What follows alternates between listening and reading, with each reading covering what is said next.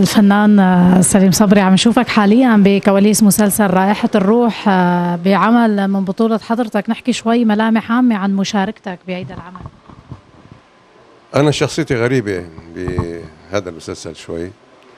شخصية آه، شخص مفروض أنه قوي ومتنفذ ولكنه يدعي الصلاح. يدعي بأنه هو مستقيم جدا ولكن هو بالحقيقة ضال. آه، بيحاول إنه يربي أولاده على الصلاح لكن هو ضال. فكيف بده يربيهم على الصلاح؟ يعني شخصية موجودة هي في المجتمع دائما شخصيات بنشوفها كبيرة وتدعي إنه هي صالحة ولكن أعمالها أعمال فاسدة. بصورة عامة هي شرح لبعض الشخصيات اللي ممكن تكون في مجتمعنا واللي بتعطينا درس إنه كيف نتقي منها. وإنه كيف آه، الإنسان إذا بده يمشي في الطريق المستقيم الطريق يكون واضح ما بيكون مزور. هذا بيحاول دائما يزور الطرق ويزور تصرفاته إنه هي تصرفات صالحة. مهم شخصية آه، تكشف كثير من آه، تزوير بعض الشخصيات الكبيرة.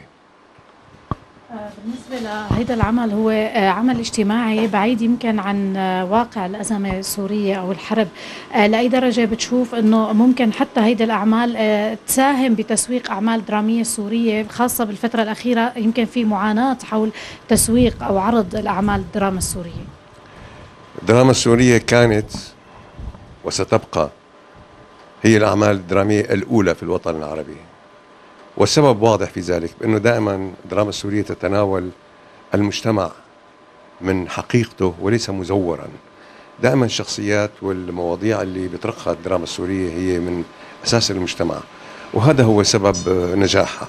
الحقيقة دائما تظهر لعين المشاهد والتزوير دائما بيظهر والحقيقة دائما موجودة في الدراما السورية وهذا السبب آه، إنه الناس بيحبوا يشوفوها لأنه بيشوفوا فيها الحقيقة. كل معظم الأعمال عم تنعرض أو تنعمل لتنعرض برمضان. حضرتك كفنان قدير وتاريخ طويل كيف تنظر؟ هل هذا الشيء بيسيء للدراما للممثل السوري للعمل أو الإنتاج أم هو شيء إيجابي لأنه موسم عرض؟ الأعمال الدرامية مجتمعة تعرض في رمضان. هذا شيء سيء وسيء جدا لأنه الأعمال الدرامية يجب أن تذاع في كل أشهر السنة لأنه المشاهد بيكون قاعد في بيته. مو برمضان بيتفرغ لوقف قدام التلفزيون. فهذا خطأ آه، أنا بعتقد هذا من محطات التلفزيون.